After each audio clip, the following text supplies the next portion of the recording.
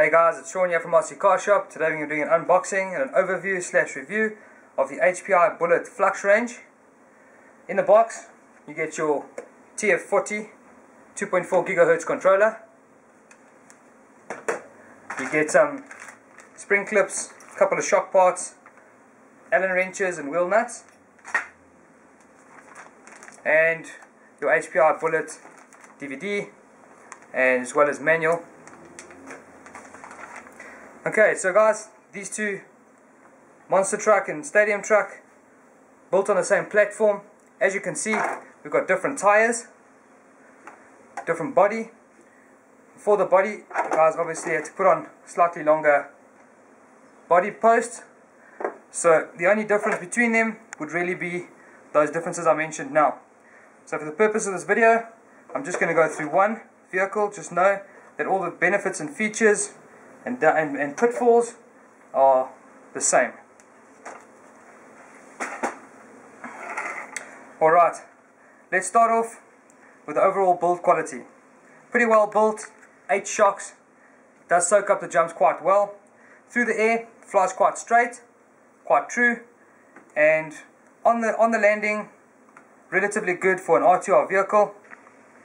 We've got your full aluminium skid plate, Pretty tough A-arms. We've got adjustable camber front and rear and adjustable toe up front.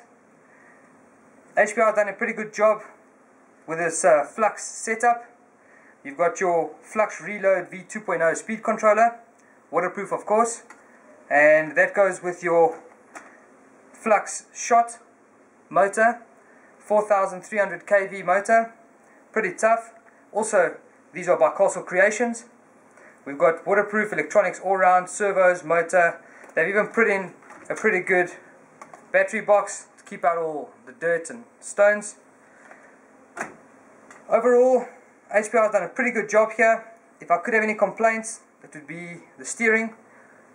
Could have a little bit stronger servos in it. The turning circle is not that great. Other than that, you're not going to get better for your money for a, an RTR vehicle full-time four-wheel drive with a full metal drivetrain and sealed diffs front and rear as well as center diff.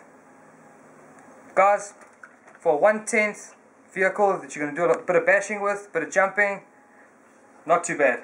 Rubber sealed bearings all around and on a two cell LiPo we were getting about 55 k's an hour. Popped in a three cell got about 75 k's an hour wouldn't recommend a 3 cell for off-road. It's a bit out of control even with the awesome 4-wheel drive. So guys, if you want one of these, pop out to RC Car Shop. Got a, got a couple of these on the shelf for you.